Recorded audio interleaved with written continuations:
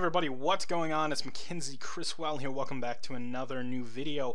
Uh, if you are coming here from one of my previous videos uh, about Plex, either the one uh, for backing up the server on PC or on Mac, uh, welcome, and we'll be getting right to how to interchange the two. But before we go ahead and do that, I did want to say uh, if you are not coming here from one of those two videos, uh, please look at the cards in the upper left hand of the video.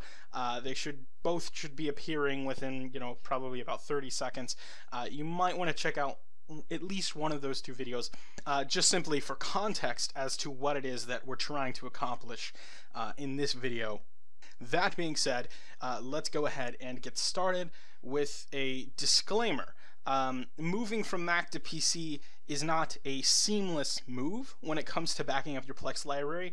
Um, part of that, as you'll understand if you're coming from one of my videos, is that when you back up um, a Plex server, there are basically three things you need. You need the movies and videos and photos or music that you're backing up as part of your Plex library, and then you need two different sets of Plex metadata files. One is just thumbnails and uh, metadata, descriptions, summaries, titles, everything under that category. And the other are advanced server specific settings um, that, frankly, I don't really understand. And it, when you go through the process of backing up, you'll notice that on PC or Mac, that first set of metadata files, the thumbnails and the descriptions and everything, it's just a folder structure. You grab it, you copy it to a hard drive or a flash drive, and you're good to go. But when it comes to that second set of advanced files, it gets a little hairy. On Mac, you're backing up a preference list file, uh, you know, or a plist file um, to to then move to another Mac,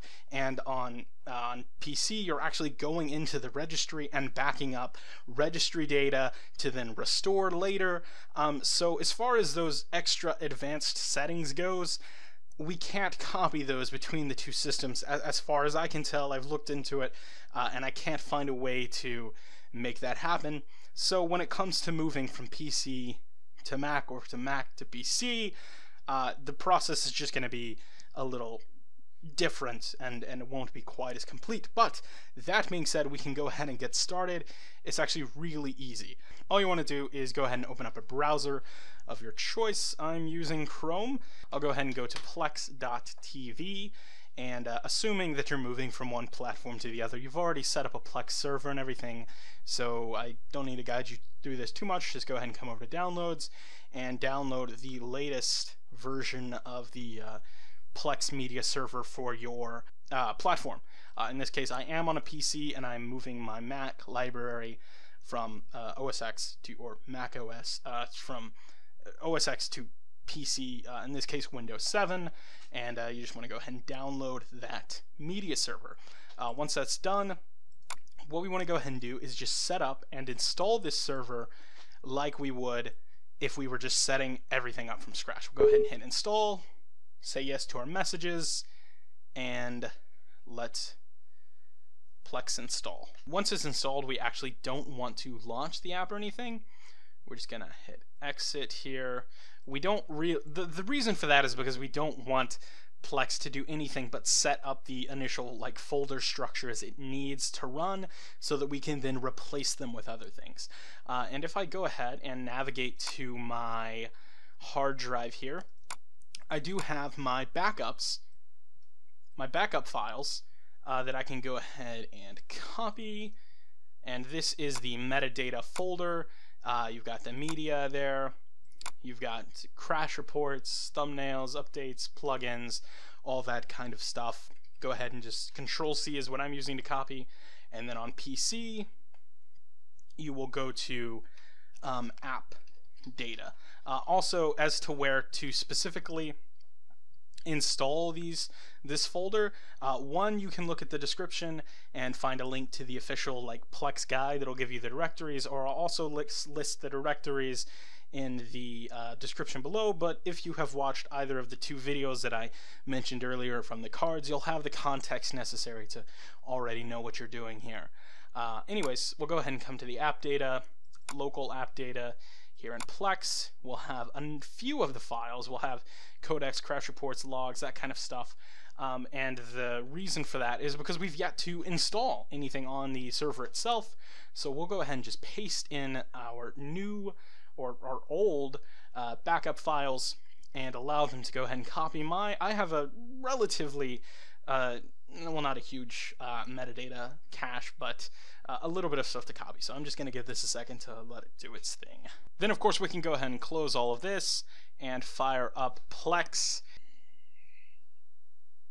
And now Plex is going to want you to go ahead and sign in with your account. Um, don't know what else you would sign in with. And your server should be found almost immediately since you've gone ahead and set everything up.